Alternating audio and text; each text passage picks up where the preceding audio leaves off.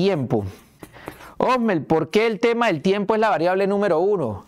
Porque no es lo mismo una persona que se inicia en bolsa cuando tiene 65 a 70 años a una persona cuando tiene 20. En la bolsa de valores tenemos que ser muy claros. Si usted tiene 65, 70, 75 años, si existe una caída en bolsa, vamos a hablar, vamos a suponer de un 20, un 30%, un 20%, existe la probabilidad bastante alta de que usted, que metió, un ejemplo, 100 mil dólares y se cayó un 30%, ¿cuánto perdió? 30 mil.